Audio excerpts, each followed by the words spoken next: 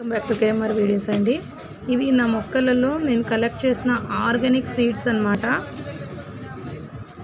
ఒకటొకటి చూపిస్తానండి చూస్తూ పోండి. ఇదైతే చిక్కుడు అండి.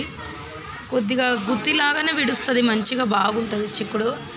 ఇది వచ్చేసి నేను ఇప్పుడు చూపించిన కారం బంతిలో ఇది కొద్దిగా చిన్న కారం బంతి అనమాట పూలంతా పెద్దగా రాదు. ఇది వచ్చేసి బచ్చలి. నా గార్డెన్ నుంచి కలెక్ట్ చేసిన సీడ్సేనండి ఇవన్నీ కూడాను. ఎప్పుడు కూడా ఒక గార్డెనర్ సీడ్స్ కలెక్ట్ చేసే దాని మీదనే ఓపు పెట్టుకొని ఉండాలా? ఇది వచ్చేసి ఎడబాయనండు.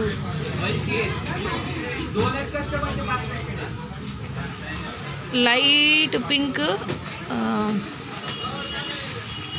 గోరింక పూలండి ఇది. ఇది ముల్లంగి ఇత్తనాలు చూడండి ముల్లంగి ఇత్తనాలు ఎలా ఉంటాయో నేను చూపిస్తాను మీకు. గో ముల్లంగి సీడ్స్ అయితే ఇలా ఉంటాయండి.